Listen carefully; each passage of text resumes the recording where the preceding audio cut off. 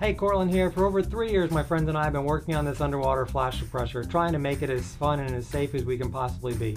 It wasn't safe when we started out. You can tell from all the models that we've gone through in the videos that we've definitely gone through and tested a lot of different variations of it. But now we've got it dialed into the safest model that we've ever come up with, and we're selling it at www.gunfishing.com. That's gunfishing.com. The guns, the ammo, the underwater suppressor, ways to clean your gun, everything that you need to get into the sport. But first and foremost, check all your local regulations, make sure you know what you're doing and you're not breaking any laws, and above all, be safe.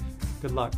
We finally got our patent pending, but out of respect for the ATF, we've decided to send the device off to them to let them look it over decide, and decide that it is not a suppressor, which we don't believe is a suppressor because it's not quieter in the air, it's only quieter underwater. So the people that put the deposit down will be the first to get the device as soon as it gets approved by the ATF, which we expect to be somewhere around three months. So we're looking at about March of 2019. It should be available. Thank you.